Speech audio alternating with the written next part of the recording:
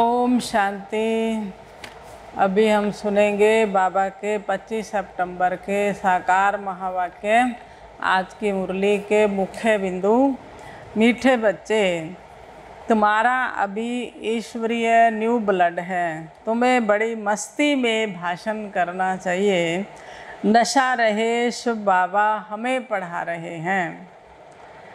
बाबा ने कहा, अभी तुम्हारा ईश्वरीय न्यू ब्लड है तो उमंग उत्साह रहना चाहिए नशे से भाषण करना है मस्ती में। बाबा ने कहा, नशा रहे शुभ बाबा हमें पढ़ा रहे हैं।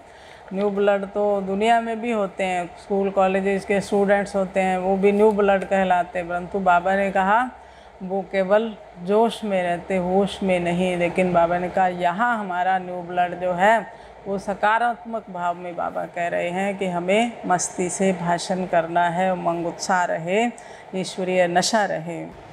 प्रश्न, तुम्हें अपनी एम ऑब्जेक्ट का नशा स्थायी बना रहे, उसके लिए कौन सी युक्ति अपनाओ उत्तर, अपना राजाई, पासपोर्ट निकाल कर रखो, नीचे साधारण चित्र, ऊपर राजाई पोशाक से सजा सजाया और उसके ऊपर, शिव बाबा तो एम ऑब्जेक्ट की स्मृति रहेगी। बाबा आज बहुत अच्छी युक्ति बता रहे हैं एम ऑब्जेक्ट का स्थायी नशा रखने की। अपना राजाई पोशाक वाला पासपोर्ट साइज़ फ़ोटो बनवाए तो बाबा ने कहा, ऊपर में शिव बाबा, फिर राजाई पोशाक का चित्र नीचे साधारण चित्र हो। तो बाबा ने कहा, ये स्मृति रहेगी। पॉकेट में यह पासपोर्ट पड़ा रहे। जब कभी माया के तूफ़ान आएँगे तो ख्याल चलेगा। अब हमारा यह पासपोर्ट तो कैंसिल हो जाएगा। हम स्वर्ग में जा नहीं सकेंगे। गीत है, रात के राही थक मत जाना, सुबह की मंजिल दूर नहीं। ओम शांति। बच्चों ने तो इस गीत का अर्थ समझा, अब भक्ति मार्ग के घोर अंधेरे की। रात पूरी हुई। बच्चे जानते हैं, अब हमारे पास काल नहीं आ सकता। यहाँ बैठे हैं। हमारी एम ऑब्जेक्ट है मनुष्य से देवता बनने की। जैसे सन्यासी लोग कहते हैं कि तुम अपने को भैंस समझो तो वह रूप हो जाएँगे। वह भक्ति मार्ग के दृष्टांत हैं। जैसे यह भी एक दृष्टांत है ना कि राम ने बंदरों की सेना ली। और रावण पर जीत प्राप्त की। बाबा ने कहा यहाँ, तुम बैठे हो, जानते हो, हम सो देवी देवता डबल सिरताज बनेंगे। जैसे स्कूल में पढ़ते हैं तो कहेंगे, यह पढ़कर डॉक्टर बनूँगा, इंजीनियर बनूँगा। तुम जानते हो, हम इस पढ़ाई से सो देवी देवता बन रहे हैं। बाबा ने कहा ये सदा स्मृति रहे, हम इस पढ़ाई से देवी देवता बन रहे हैं। यह शरीर छोड़ेंगे और हमारे सिर पर ताज होगा। यह तो बहुत गंदी, छिछी दुनिया है। नई दुनिया, बड़ी फ़र्स्ट क्लास दुनिया, पुरानी दुनिया बिल्कुल ही अब अगर थर्ड क्लास दुनिया है, यह दुनिया तो खलास होने की है। हमको विश्व का मालिक बनाने वाला ज़रूर विश्व का रचयिता होगा। दूसरा कोई पढ़ा ना सके। शिव बाबा ही हमको पढ़ाकर राजयोग सिखलाते हैं। तुम ब्राह्मण तो हो ही, जानते हो हम देवता बन रहे हैं। नशा रहता है, मैं यह बन रहा हूँ। पहले हम कलयुग नरक में थे, असुर और देवता में। कितना फ़र्क है? देवताएँ कितने पवित्र हैं? यहाँ कितने पतित मनुष्य हैं? अब मैंने कहा सतयुग में देवताएँ कितने पवित्र होते और यहाँ कितने पतित हैं?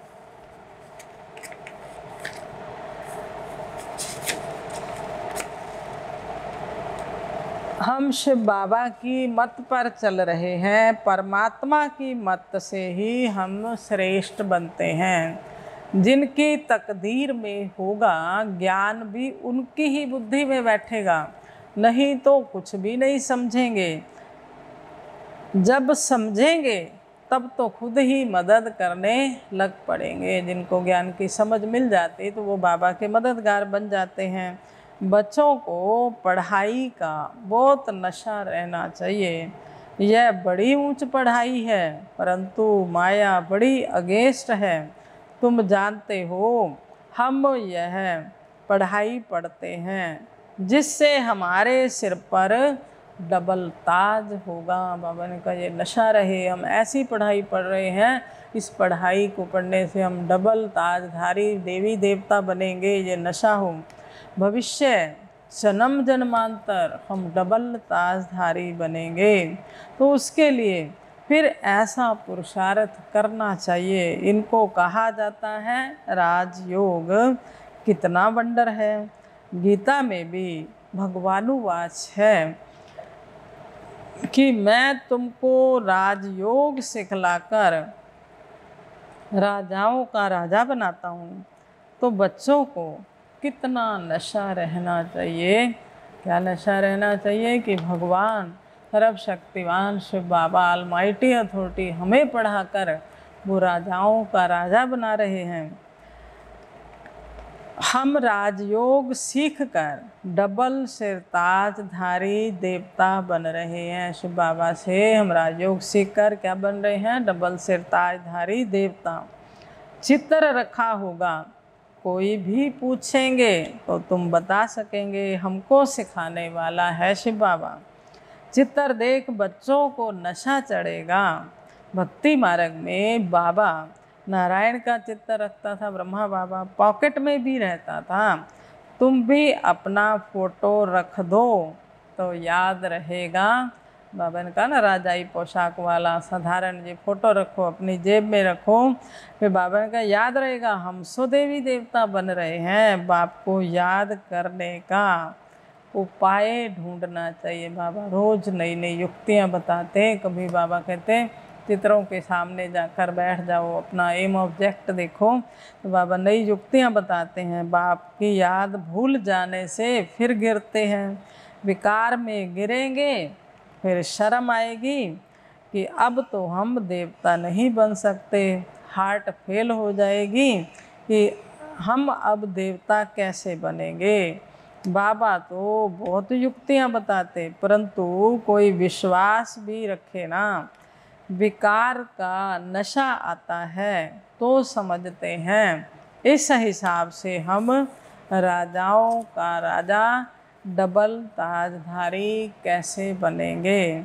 पुरुषार्थ करना चाहिए ना, बाबा समझाते हैं कि ऐसी ऐसी सुंदर युक्तियाँ रचो अपने को आगे बढ़ाने के लिए और सबको समझाते रहो। तुम बच्चे, यह पढ़ाई पढ़ते ही हो, ऊंच पद पाने के लिए। मनुष्य समझते थोड़े ही हैं कि हम नरकवासी हैं, क्योंकि पत्थर बुद्धि हैं। अभी तुम पत्थर बुद्धि से पारस बुद्धि बन रहे हो।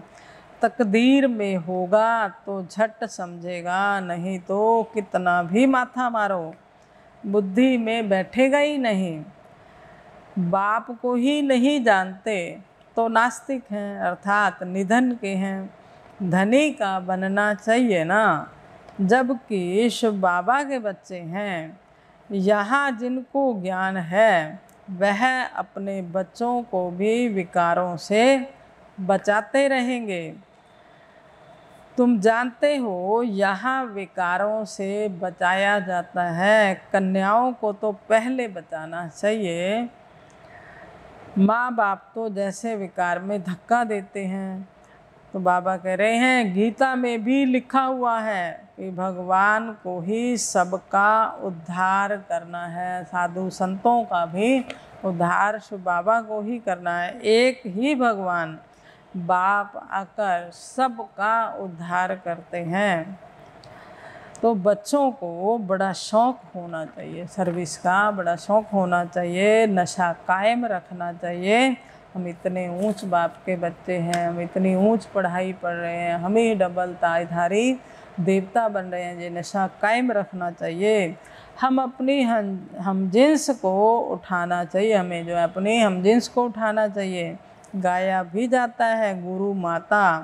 माता गुरु कब होगी? सो तुम जानते हो, गुरु का सिलसिला अभी चलता है। माताओं पर बाप आकर ज्ञान का कलश रखते हैं। अपने को सदैव हर्षित मुख रहने के लिए बहुत अच्छी अच्छी युक्तियाँ बाप बताते हैं। शुभ भावना रखनी चाहिए।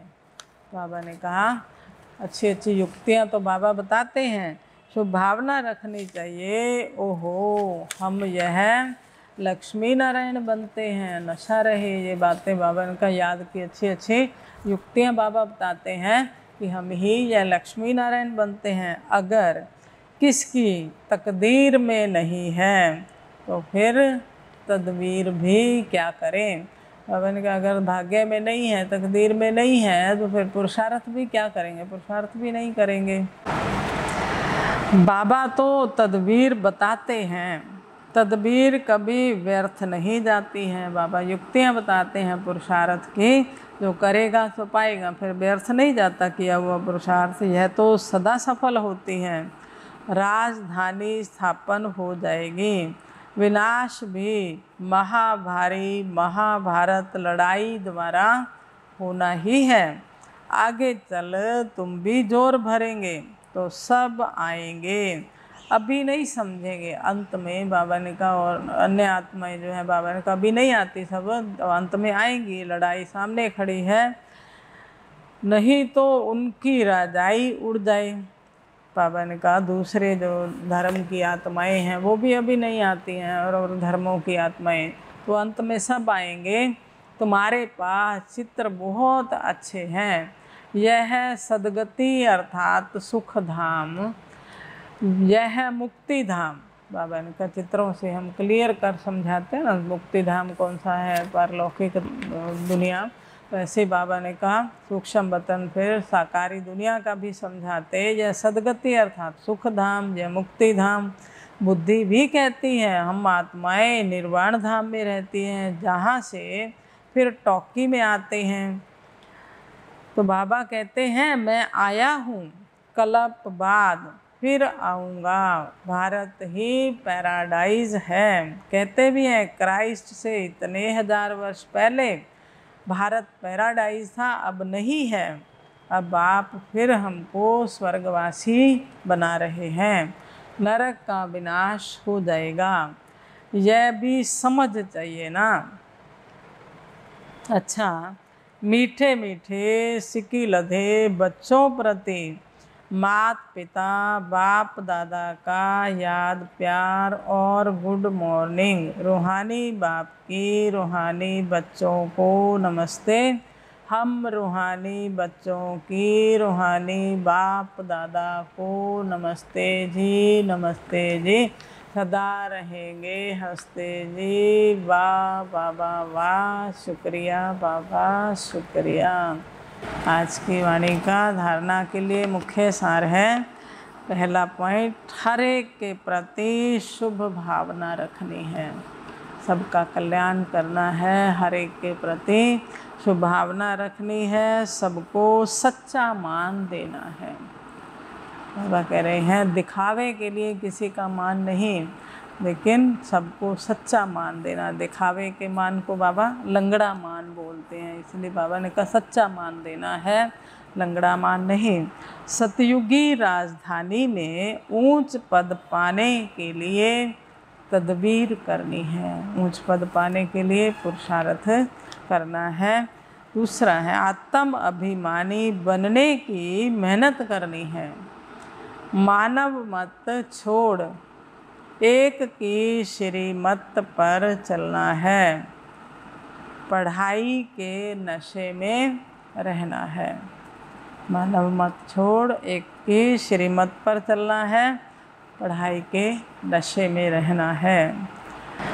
वरदान है, रिगार्ड देने का रिकॉर्ड ठीक रख।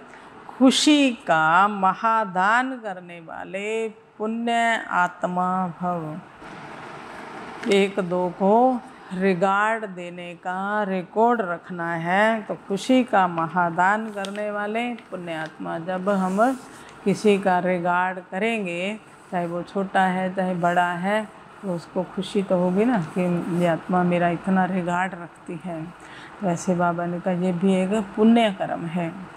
वर्तमान समय चारों ओर रिगार्ड देने का रिकॉर्ड ठीक करने की आवश्यकता है। यही रिकॉर्ड फिर चारों ओर बजेगा।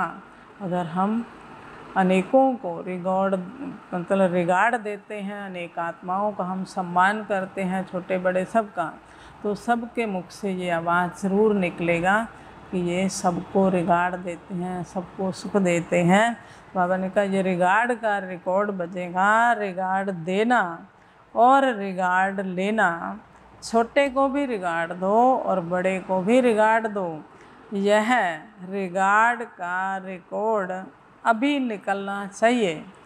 तब खुशी का दान करने वाले महादानी पुण्य आत्मा बनेंगे। जब हम रिगार्ड देंगे, तभी बाबा ने कहा, महादानी और पुण्य आत्मा बनेंगे, खुशी का दान करेंगे। किसी को रिगार्ड देकर खुश कर देना यह बड़े से बड़ा पुण्य का काम है। कौन सा है बड़े से बड़ा पुण्य का काम? किसी को रिगार्ड देकर खुश करना। तो यह सेवा है। स्लोगन है, हर घड़ी को अंतिम घड़ी समझकर चलो तो एवर रेडी रहेंगे। हर घड़ी को अंतिम घड़ी समझना है। ओम शांति ओम शांति।